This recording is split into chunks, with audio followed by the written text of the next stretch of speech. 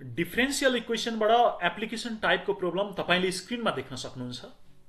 क्वेसनले भनेको छ volume of the expanding cube is increasing with the time T भन्न खोजेको टाइम बढिरहेको छ भने एउटा क्युब पनि एक्सपान्ड भइरहेको छ. That means when the time goes on increasing volume also goes on increasing and at any time T it is found that the rate of increase of the volume यो rate of increase of the volume is directly proportional to the surface area भनेको छ. अब rate of increase of the volume भनेपछि के दिन्छ? Dv upon dt is directly proportional to the surface area भनेको छ।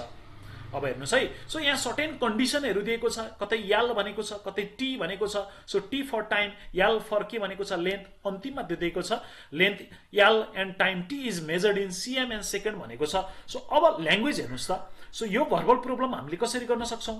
Let let let V be the let V and S let V and S be the be the volume be the volume and surface area of the expanding cube and surface area surface area of an expanding cube of an expanding cube of an expanding cube अब यो L र T भनेको के हुन्छ let let T be the time let T be the be the time and L be And L be the length of cube and L be the length of cube L be the length of cube भन्न सकिन्छ length of cube भन्न सकिन्छ so according to our question according to our question to our question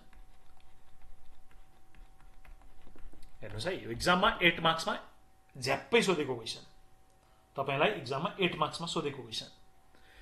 अथवा five मार्क्समा सोधेको question. ल हेर्नुहोस् त एकोर्डिङ टु आवर क्वेसन हामीलाई के भनेको छ? यो ग्री यो हाम्रो ब्लू लेटरले मैले के लेखाएको छु हेर्नुहोस् त। भोल्युम इज डाइरेक्टली प्रोपोर्सनल यो ब्लू लेटरमा हेर्नुहोस् त ब्लू इङ्कले लेखेको।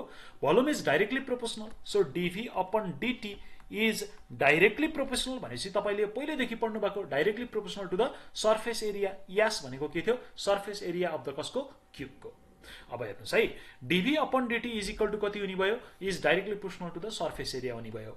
अर यो डाइरेक्टली प्रोपोर्सनल सिम्बललाई तपाईँले इक्वल टु सिम्बलले रिप्लेस गर्नुहुन्छ भने के थप्नुपर्छ यहाँनिर?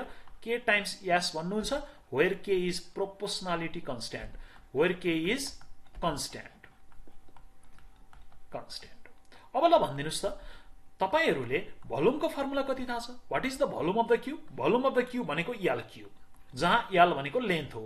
Upon dt and this is equal to K times surface area surface area भनेको कति हुन्छ? सिक्स एल स्क्वायर हुँदो रहेछ। अब हेर्नुहोस् है। अब डिएल क्युब अपन डिटी भनेपछि तपाईँले सोल्युसन निकाल्नु पर्यो। यो हामीलाई दिएको एउटा डिफ्रेन्सियल इक्वेसन भयो। यो डिफ्रेन्सियल इक्वेसनको सोल्युसन निकाल्नु पर्यो। सोल्युसन कसरी निक्लिन्छ? डेरिभेटिभ हटाउनु पर्छ। हेर्नुहोस् है। यो यसको सोल्युसन निकाल्नु पर्यो त्यसको लागि डेरिभेटिभ हटाउनु पर्यो। पहिला सुरुमा के लेख्न सक्नुहुन्छ? डिएल क्युब अपन डिटी भनेको डिएल क्युब अपन कति लेख्न सकिन्छ? डिएल इन्टु डिएल अपन कति आउने भयो? Dt is equal to six L square times K हुने भयो। अर एल क्युब भनेको कति हुन्छ? Three L square into dl upon कति हुने भयो? Dt is equal to six L square times K हुने भयो काटियो थ्री एल स्क्वायर टु जा सिक्स एल स्क्वायर होला। Or so dl upon dt भनेको त कति आउँछ हाम्रो? इज इक्वल टु के मात्र बाँकी हुँदो रहेछ। अथवा टुके बाँकी हुँदो रहेछ ल हेर्नुहोस् यहाँनिर। हाम्रो बाँकी भयो टुके हेर्नुहोस् है भाइ बहिनीहरू टुके अब यसलाई तपाईँले दुईपट्टि लानुभयो भने के हुन्छ? So dl is equal to two K times कति हुने भयो? डिटी यो तपाईँको एउटा के भयो? डिफ्रेन्सियल इक्वेसन भयो। अब डिफ्रेन्सियल इक्वेसनलाई कसरी सल्भ गर्नुहुन्छ? इन्टिग्रेटिङ बोथ साइड गरिदिनुहोस्। डेरिभेटिभ हटाउनुपर्छ भनेको थिएँ मैले। So integrating so integrating both side दुवैपट्टि साइडमा तपाईँले इन्टिग्रेट गर्नुभयो भने कस्तो हुन्छ? यदि दुवै साइडमा इन्टिग्रेट गर्नु भने integration of dl is equal to integration of two K times कति हुने भयो? डिटी हुने भयो। र डिएलको इन्टिग्रेसन कति हुन्छ? यल मात्र हुन्छ। टु के कन्सट्यान्ट हुने भयो। डिटी भनेको कति हुने भयो? टी प्लस कन्सट्यान्टलाई के मानिदिने? सी मानिदिन्छु म। दिस इज द सल्युसन अब क्वेसनले यहाँनिर के भनेको छ? हामीलाई कन्डिसनहरू दिएको छ। हेर्नुहोस् है त। If L is equal to one when T is equal to zero भनेको छ। सो सुरुमा त्यो युज गर्नुहोस्। Initial condition when T is equal to zero L is equal to one यसबाट कुनै न कुनै एउटा भेरिएबल आउँछ। हेर्नुहोस् है। यसबाट के हुन्छ? कुनै न कुनै कन्सट्यान्टको भ्यालु आउँछ यहाँबाट। हामीसँग एउटा प्रोपोर्सनल कन्सट्यान्ट छ एउटा सी भनेको इन्टिग्रेसन कन्सट्यान्ट छ। सो टीको भ्यालु एलको भ्यालु वान हुन्छ अरे। कहिले? टीको भ्यालु जिरो हुँदा। So two K into zero plus C जहाँबाट तपाईँले कसको value भेट्नुभयो? C is equal to one भेट्नुभयो। So from equation सेकेन्डबाट ल भनिदिनुहोस् त। From equation II from equation II के भेट्नुहुन्छ तपाईँले? L is equal to two times K T plus कति हुने भयो सीको भ्यालु वान हुने भयो यसलाई इक्वेसन कति भनिदिनुहोस् थर्ड भनिदिनुहोस्। अल्सो अर्को कन्डिसन के छ ल भन्नुहोस् त। अल्सो क्वेसनले के दिएको छ? When T is equal to कति दिएको छ? यहाँ हेर्नुहोस् है। अर्को कन्डिसन दिएको छ टाइमको भ्यालु तपाईँको when T is equal to one L is equal to कति दिएको छ? थ्री दिएको छ। टाइम भनेको एक सेकेन्ड हुँदा एल थ्री सिएम दिएको छ होला। When T is equal to one L is equal to maybe three L is equal to L is equal to three S L is equal to three दिएको छ L is equal to three so के हुन्छ? हेर्नुहोस् त ठ्याक्कै equation योभन्दा माथिको इक्वेसनमा राखिदिनुहोस्। सो एलको भ्यालु थ्री हुँदै गर्दा तपाईँको के छ? टु इन्टु के इन्टु टीको ठाउँमा वान प्लस कति हुने भयो यहाँनिर? One or so three minus one भनेको टु इज इक्वल टु कति हुने भयो? टु के अर के को भ्यालु कति आयो? के को भ्यालु त वान आयो।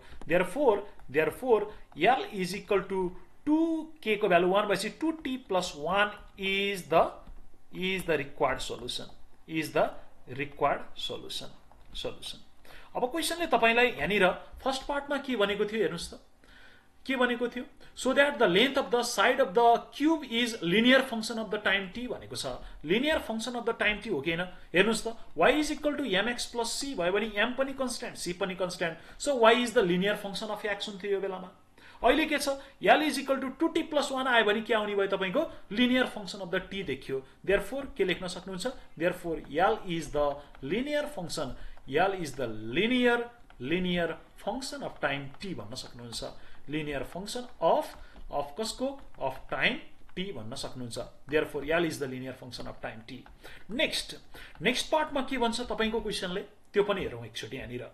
सो सेकेन्डमा हामीलाई के भन्छ find the value of L when T is equal to eight भन्छ when time T is equal to eight second when T is equal to eight एलको value कति हुन्छ लेटेस्ट हाम्रो हेर्नुहोस् त यो सोल्युसनमा राखिदिनुहोस् L is equal to two into टीको ठाउँमा एट प्लस वान आठ दुना सोह्र plus one is equal to कति हुने भयो तपाईँको एन्सर ल हेर्नुहोस् त कति आयो?